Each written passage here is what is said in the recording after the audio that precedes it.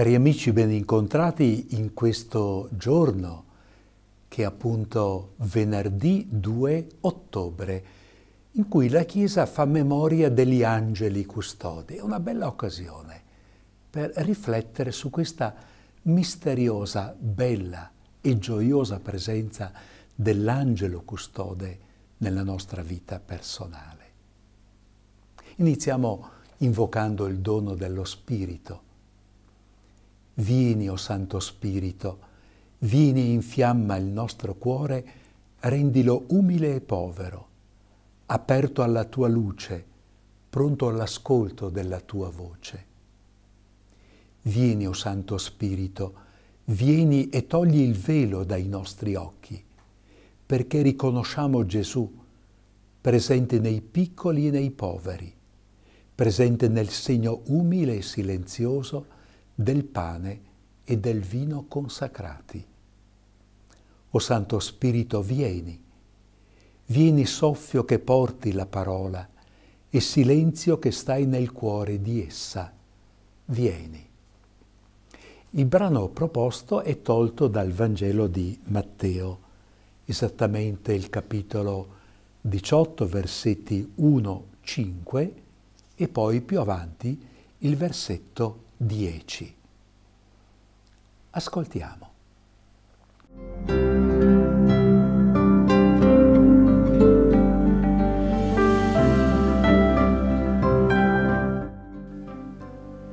In quel tempo i discepoli si avvicinarono a Gesù dicendo, Chi è dunque più grande nel regno dei cieli? Allora chiamò a sé un bambino lo pose in mezzo a loro e disse, in verità io vi dico, se non vi convertirete e non diventerete come bambini, non entrerete nel regno dei cieli. Perciò chiunque si farà piccolo come questo bambino, costui è il più grande nel regno dei cieli. E chi accoglierà un solo bambino come questo, nel mio nome accoglie me.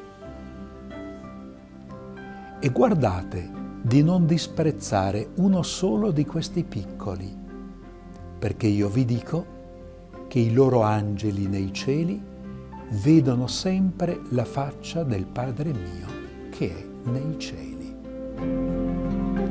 Quest'ultima parola di Gesù motiva il perché la Chiesa sceglie questo Vangelo nella festa dei santi angeli custodi. Ma cerchiamo di coglierlo nel suo insieme, questo brano di Vangelo. Ritorna un tema che ho commentato qualche giorno fa. Chi è il più grande nel regno dei cieli? E Gesù è molto netto c'è una condizione per entrare nel regno dei cieli. Entra nel regno dei cieli solo chi diventa come un bambino. La caratteristica del bambino è di saper ricorrere al genitore, al papà e alla mamma.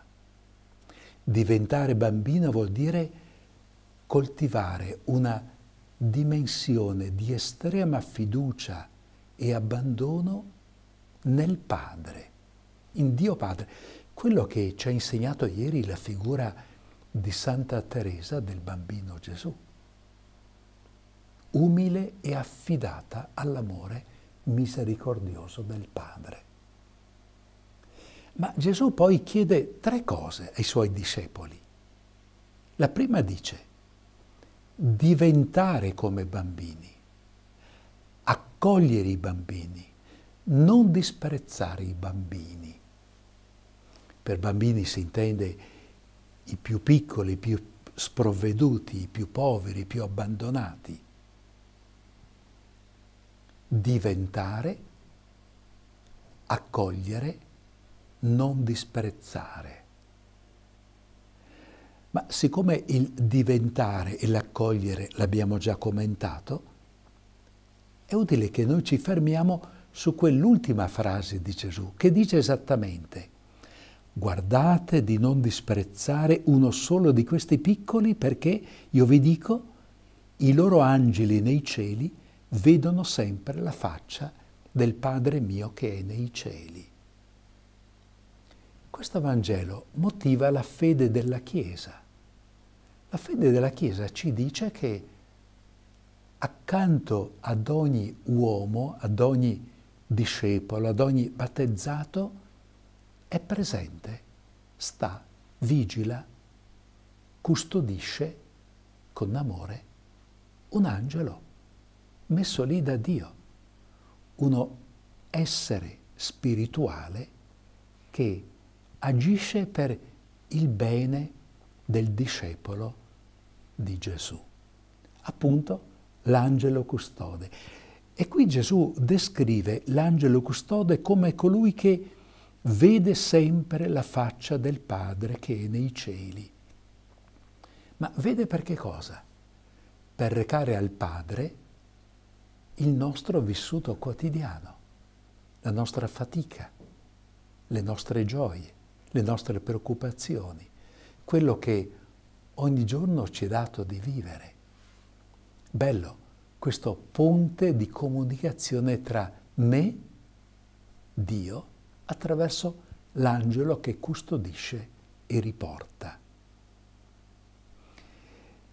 Beh, in questa festa cambiamo preghiera. Mi piace usare la preghiera all'angelo custode, quella preghiera che la mamma mi ha insegnato. E potremmo dire così, la ricordate, angelo di Dio, che sei il mio custode, illumina, custodisci, reggi, governa me, che ti fui affidato dalla pietà celeste. Amen. Ecco, ringraziamo il Padre che nella sua pietà mette accanto a noi un essere spirituale che custodisce, che vigila, che guida, che intercede. E ci benediciamo anche oggi. Questa benedizione che ha il significato di uno sguardo buono, uno sguardo che chiede il bene, uno sguardo che intercede il meglio. Il Signore sia sopra di te per proteggerti, davanti a te per guidarti, dietro di te per custodirti, accanto a te per accompagnarti, dentro di te per benedirti. Nel nome del Padre, del Figlio e dello Spirito Santo. Amen. E buona festa dell'Angelo Custode. Arrivederci.